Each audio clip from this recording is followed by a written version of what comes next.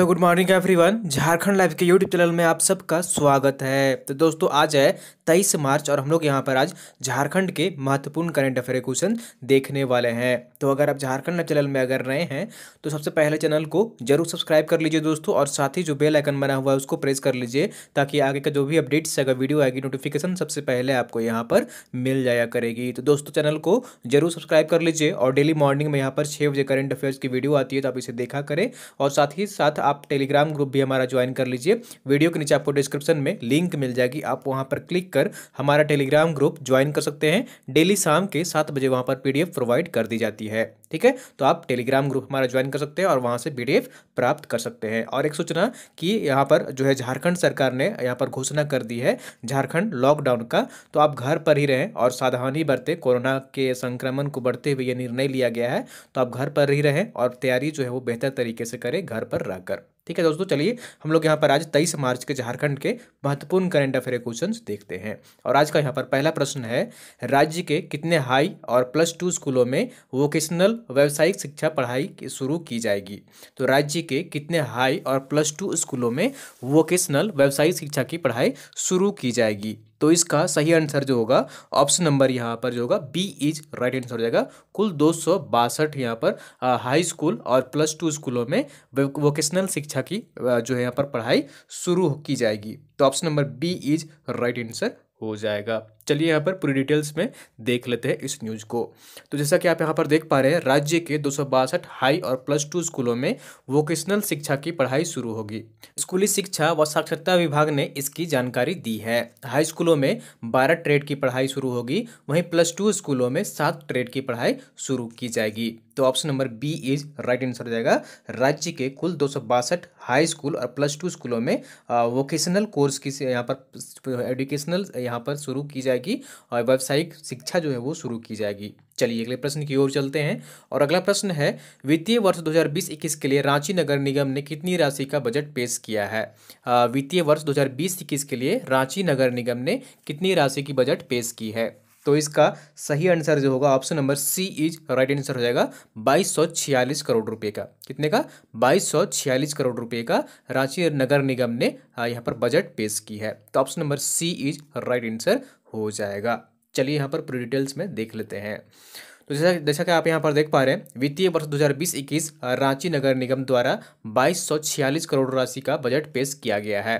पिछले वर्ष की तुलना में एक सौ इक्यावन करोड़ राशि यहाँ पर कम है, ठीक है? तो पिछले वर्ष से यह जो है वो कितना कम है? एक सौ इक्यावन करोड़ रुपये कम है और इस बार का बजट जो है वो कितनी राशि का है? बाईस करोड़ रुपये राशि का यहाँ पर रांची नगर निगम ने बजट पेश किया है। तो option number C is right answer हो जाएगा।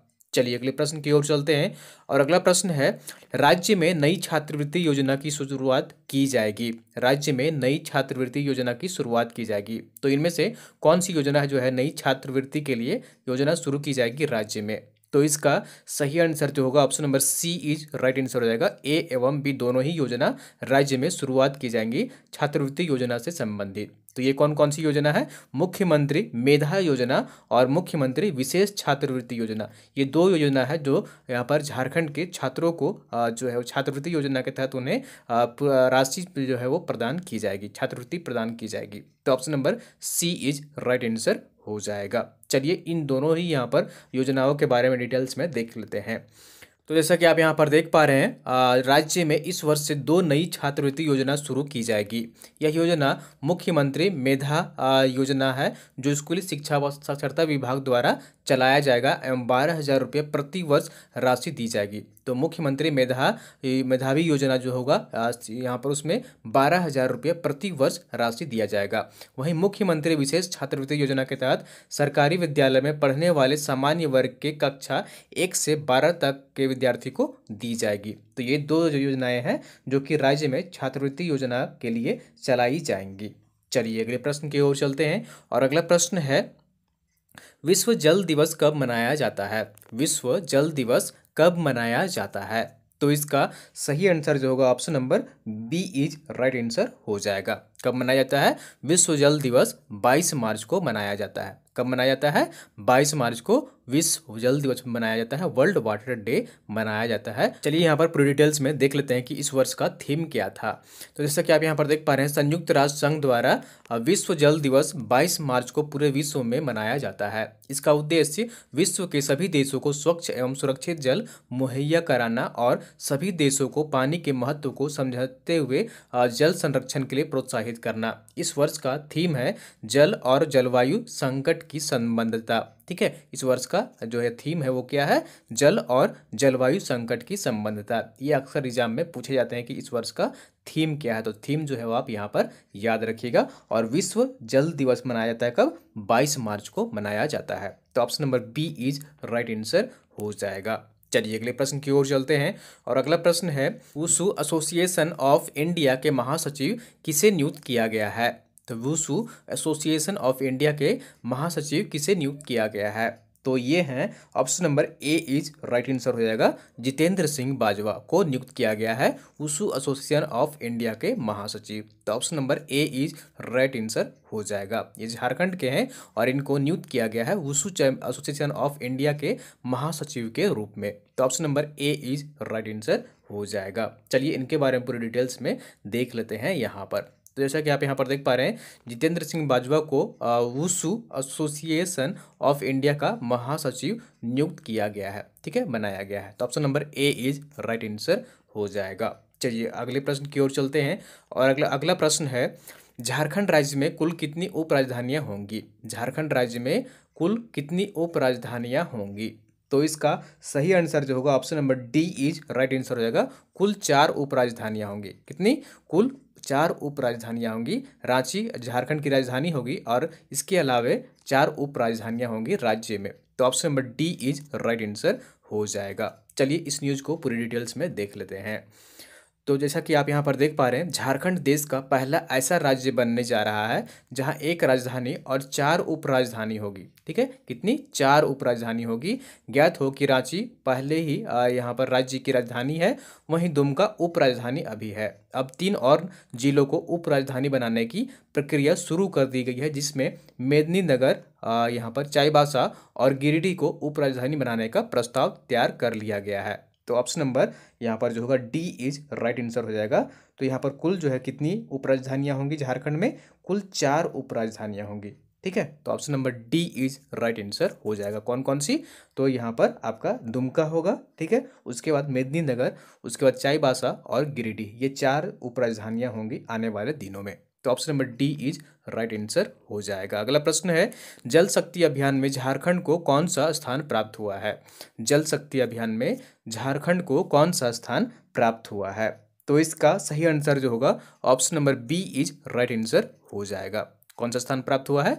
दूसरा स्थान प्राप्त हुआ है जल शक्ति अभियान में झारखंड को। तो option number B is right answer हो जाएगा। यह जो योजना जो है यहाँ पर यह केंद्र सरकार की योजना है, जल शक्ति अभियान, और इसमें झारखंड को पूरे देश भर में दूसरा स्थान प्राप्त हुआ है। चलिए इसके बारे में पूरी डिटेल्स में यहाँ पर देख लेते हैं।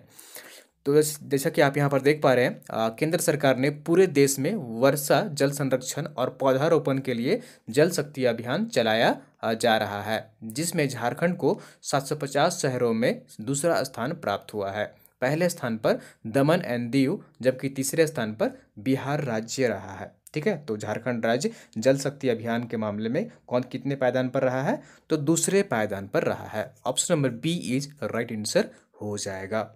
चलिए यहाँ पर आंसर ऑफ़ द डे देख लेते हैं। कल जो आपसे प्रश्न पूछा गया था, राष्ट्रीय महिमा सम्मान 2020 से किसे सम्मानित किया गया है?